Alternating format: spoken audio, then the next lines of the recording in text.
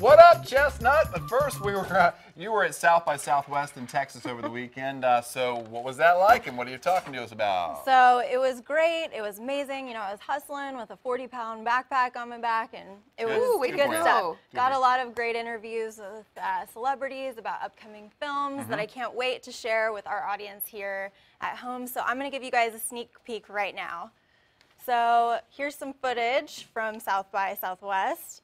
And we had Ethan Hawke. He stars in the upcoming Western entitled In a Valley of Violence. He plays a mysterious drifter named Paul and co stars along with John Travolta.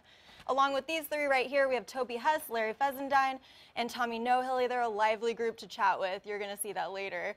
Um, I also got to interview the cast of War on Everyone, a film about two corrupt cops starring Alexander Skarsgård and Michael Pena. Now, they are a handsome group, so I can't wait to see that film.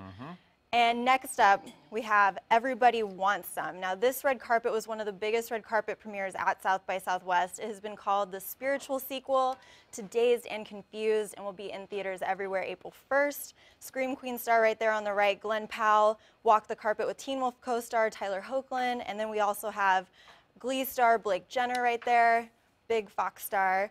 And then up right next, we have Olympian gold medalist Tara Lipinski was in town as an NBC commentator. She gives us the scoop of what's happening this year at the Brazil Olympics.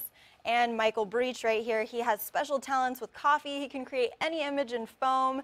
And right there, you see my face.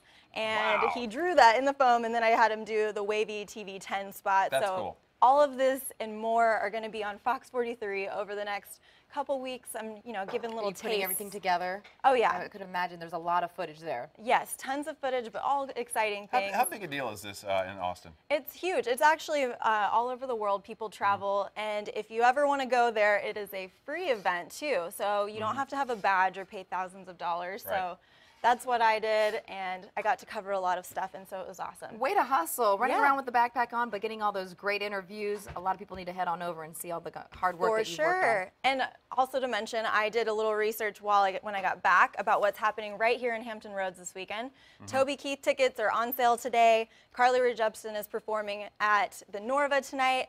And Puck of the Irish is happening. That's right, for the Norfolk Admirals? Yes, they're turning Green the ice. whole green ice, and the kids are skating. Oh, Yep, how fun and afterwards. exciting. Thank you so Yes. much, Annaka, for coming on to the Thank you, Hampton Road appreciate Show. it. guys. Lots going on this here, too. weekend. Awesome.